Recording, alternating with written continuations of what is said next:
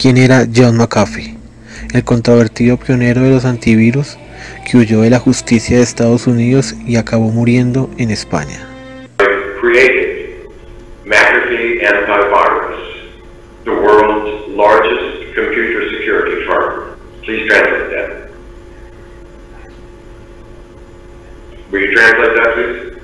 created Eh, yo soy el fundador eh, de McAfee y McDart, dos de las, eh, las dos compañías del mundo más importantes en seguridad informática. La excéntrica vida del multimillonario estadounidense John McAfee llegó este miércoles a su fin. Los funcionarios de una prisión en la que se encontraba detenido en Barcelona, España, lo encontraron muerto, en lo que consideraron preliminarmente como un suicidio, aunque no se descarta un asesinato. El deceso del pionero de los antivirus, de 75 años de edad, se conoció pocas horas después de que la Audiencia Nacional de España diera el visto bueno para extraditarlo a Estados Unidos, donde está desde hace años acusado de evasión de impuestos.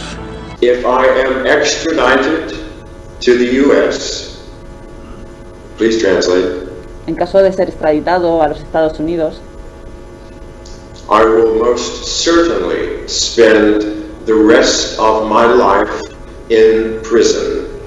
Please eh, translate. con toda seguridad pasaré el resto de mis días en prisión. se había dado a la fuga en enero del 2019, cuando las autoridades de Washington comenzaron a buscarlo luego de que él mismo confesara que no había pagado impuestos por más de ocho años, por considerarlos injustos.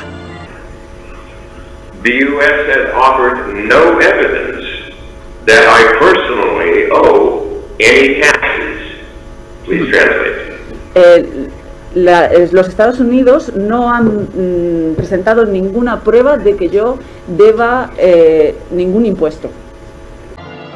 Desde entonces se declaró perseguido y víctima del exilio obligado, que lo llevó a las islas del Caribe y que culminó con su detención en octubre pasado en el aeropuerto de Barcelona, cuando trataba de volar a Turquía. Un tribunal español le había negado antes su última petición de libertad condicional, tras considerar que el riesgo de fuga continuaba, siendo evidente y que no tenía ningún signo apreciable de arraigo. Chairman of the company, I began to see corruption within the IRS, within our Internal Revenue System. Uh-huh. Please translate. Ajá. Durante eh, el periodo en el que era el presidente de estas empresas, comencé a darme cuenta de que había muchísima corrupción en la agencia tributaria de eh, los Estados Unidos. El último viaje que lo llevó a la cárcel de España y finalmente a su muerte comenzó en enero del 2019, cuando se escapó de Estados Unidos. Llegó primero a Bahamas y de ahí tuvo que trasladarse ya que estaba perseguido por la CIA, según decía él. Viajó entonces a Cuba, desde donde día a día publicaba fotos, videos y comentarios sobre tabaco, restaurantes, bebidas costosas y fiestas.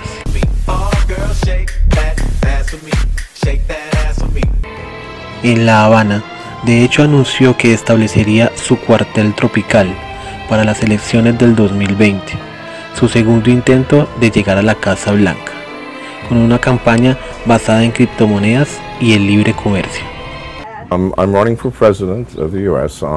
Me estoy lanzando a la presidencia de Estados Unidos desde una plataforma muy impopular que es en total desacuerdo con el gobierno estadounidense en términos de política exterior, en términos de ser la policía del mundo. Estados Unidos se está convirtiendo en un estado policial.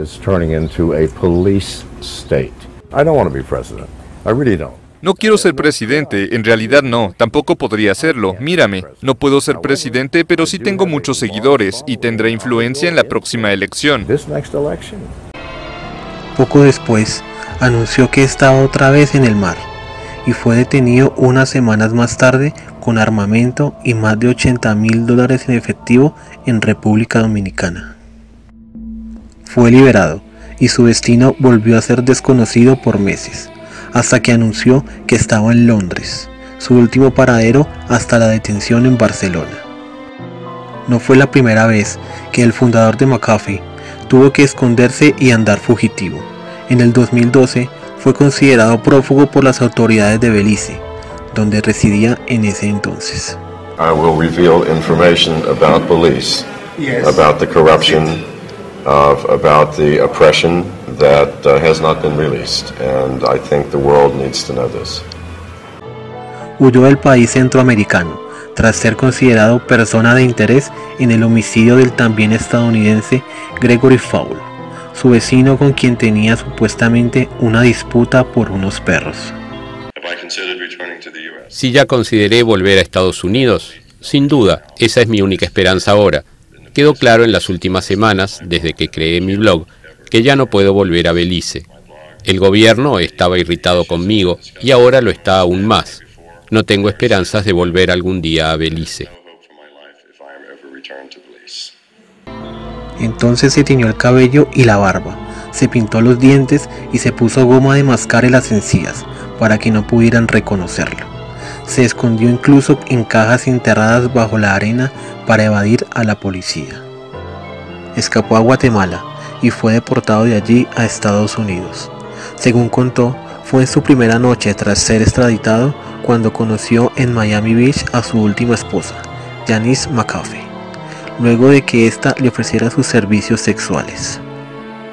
Se casaron poco después y se asentaron en un rancho rural en Tennessee, desde donde el informático lanzó su primera campaña por la presidencia en el 2016, por el Partido Libertario, aunque su candidatura no progresó.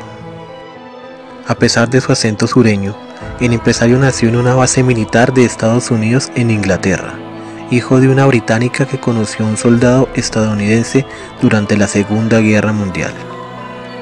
De joven se mudó a Virginia, donde tuvo una infancia problemática. Su padre era un alcohólico que se suicidó cuando McAfee tenía 15 años. Él mismo no tardó en comenzar a beber en exceso y consumir drogas de todo tipo, aunque se las arregló para mantener una prometedora carrera académica que llegó a su fin de forma abrupta en 1960. Entonces, la Universidad Estatal de Luisiana puso fin a su doctorado en matemáticas después de que se revelara que se había acostado con una estudiante de la que era mentor. Más tarde se casó con ella y comenzó a trabajar con algunas de las mayores organizaciones tecnológicas de la época, como la NASA, General Electric, Siemens, Univac y Xerox, a la vez que continuaba inmerso en sus adicciones. Las cosas llegaron a un punto crítico en la década de 1980, cuando su dependencia por las drogas y su afición a las prostitutas lo obligó a buscar ayuda. Según contó varias veces, tuvo 47 hijos. McAfee consiguió hace casi tres décadas un empleo que cambiaría su carrera. Le ofrecieron un puesto en la empresa de defensa Lockheed Martin, donde comenzó a trabajar en un programa secreto de reconocimiento de voz. Allí se encontró con un inusual código autorreplicable, diseñado para copiarse a sí mismo en cualquier disquete insertado en computadoras infectadas. Su primer contacto con el virus lo dejó fascinado y diseñó una forma para desinfectar las computadoras para luego extender la cura a través de un sistema precursor de la red. El reto lo inspiró a crear el negocio propio desde el estacionamiento de su casa, McAfee Associated con el que desarrolló todo tipo de programas para desinfectar y eliminar virus informáticos.